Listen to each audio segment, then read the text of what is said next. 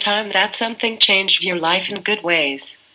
You should say when and where it happened, what happened, how you felt about it, and explain how it changed your life in good ways. Today, I would like to tell you about one of the most transformative periods of my life, which occurred during my second year of university. It was during the fall semester of 2019 when I had the incredible opportunity to study abroad alongside a diverse group of fellow students from my university.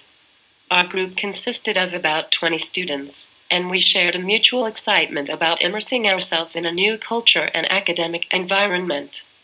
During our time abroad, we had the privilege to study at a prestigious university located in a European city renowned for its rich history and vibrant cultural scene.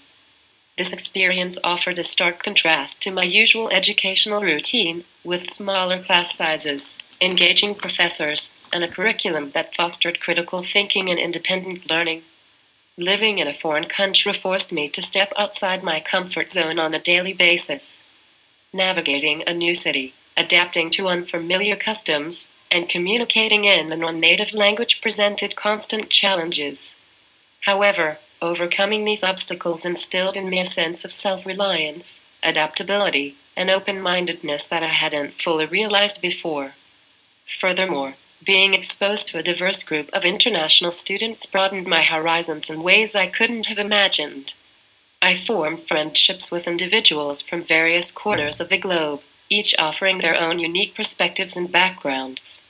Our interactions enriched my understanding of global issues, cultures, and beliefs, fostering a deep appreciation for diversity and cultural exchange.